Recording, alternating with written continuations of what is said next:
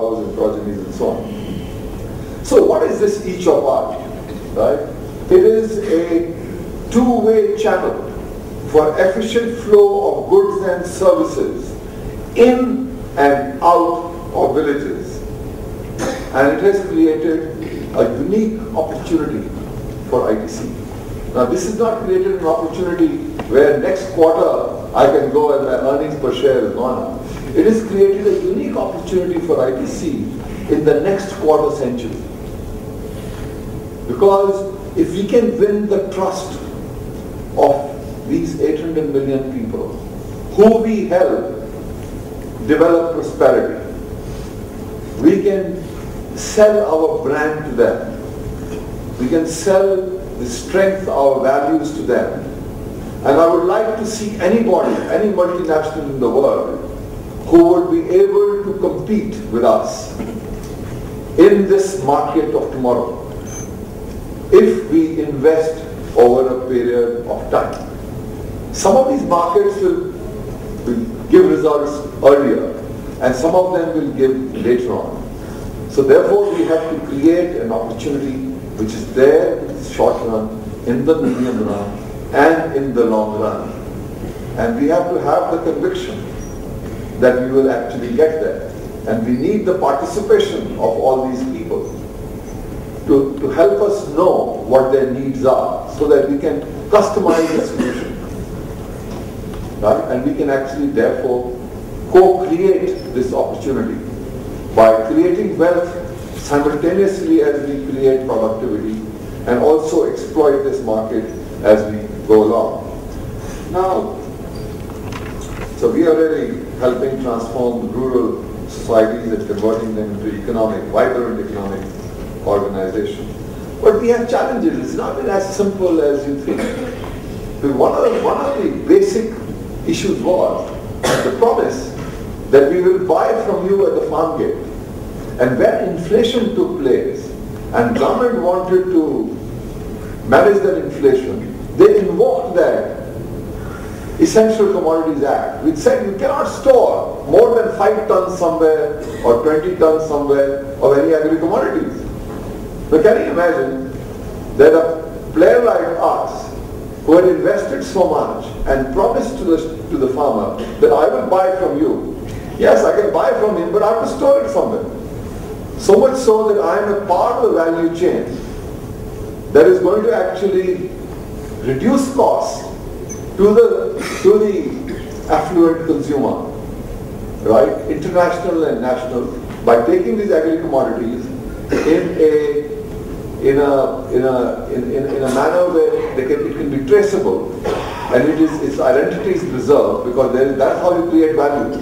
If you mix it up, then the value is gone. If you if you keep its identity preserved, the value is larger.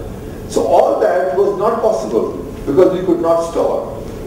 So you can imagine in one fell swoop, the shift, knee-jerk shift in policy, delivered a body blow to an enterprise that we had taken so many years and so much of passion and so much of conviction and commitment to build. The other day I was with the Prime Minister and I made this point to him that, you know, do not club us with speculators. Do not club us with those who buy when it is available, then hoard it, and when it becomes uh, you know, expensive, then you go and sell it in the market. We are not there. We are actually helping the farmer to reach the market and we are adding value by creating biscuits and packaged atta and, and by, by converting uh, you know, the agri-commodities into higher branded end of the market and delivering to the people so that we can get a better value to the small and marginal farmer at a lower cost. So there has been this uncertainty and we have to again rebuild. And then, you know, I, do I look to you like a spider? You know, Robert Bruce and Spider. You know, try and try again. Yes, I am a spider. So we getting back and re re-establishing. See, the farmer doesn't understand the Essential Commodities Act and, you know, why did we not buy? You know, they've had such bad experience with people. They suddenly say, oh, we knew this was a big company. You know, when it comes to actually buying, you know, they will not be there. I have to still take all this and the middleman is upset with me because I sold to you last time, but now he says I'm going to, you know, teach you as to how you go to ITC. So these are many, many, you know, obstacles. That's why I say it requires public, people and private partnership to put it all together. Now there are other opportunities and I, I don't know whether there is enough time or not, but you know, because we can leave some time for question and answers. I want to tell you that the biggest opportunity assuming we rose, we gave rise to productivity, and if we were supported, and we created really, you know, twice the productivity, so land would be rendered surplus. Uh, we are more concerned about food security, but if we raise productivity, and we are showing wherever we are going, productivity is risen, 30%, 40%, 50%. And wherever we created water, underground resources, productivity has shot up from one crop to two crops, assuming that we are supported right? And we can accelerate this. And productivity really rises everywhere. Then, you know, I just want to tell you that the real opportunity, because if you see the, the GDP coming from services, GDP coming from industry, and the employability, the largest employability per unit of GDP is on agriculture. So if our demographic dividend is to really pay out for us, then we have to find livelihood for 10 million people every year, additional livelihood. And we have to play from our strengths. If you go to business school, they tell you, play from your strengths and, and attack the weaknesses of your competitor. What are our strengths? We are the second largest uh, arable land in the world.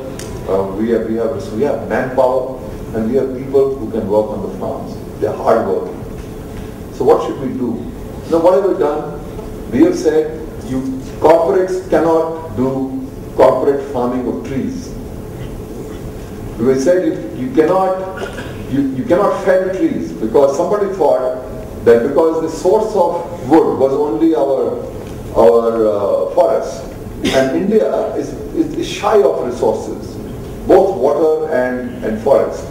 For 18% of global population, we have only 4 uh, percent of water and 2.4% of land mass and only 1% of forest resource. So, you know, you said don't cut the forest resource. But nobody said let's have policy that encourages growing of trees. So to discourage them from felling forests, what did they say? You can import wood at no duty or 5%. All of you know that you can import furniture, you know, at a very small. So what happens?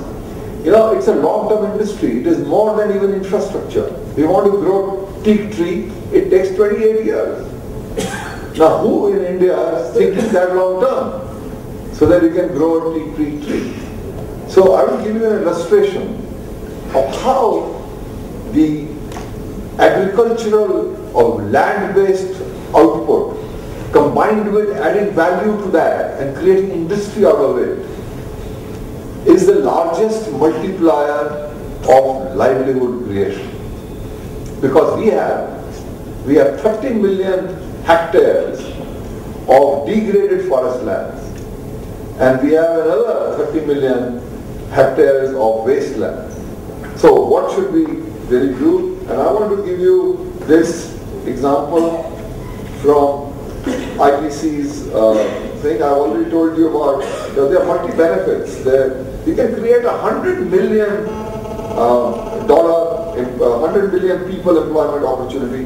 If we created a wood-based value chain, we can have a benefit of green cover. It can, it can be a carbon sink. It can preserve our soil, which is a big problem India is facing. It can be a source of biomass for energy, uh, which is carbon neutral. And we can also have it as a source of biochemical.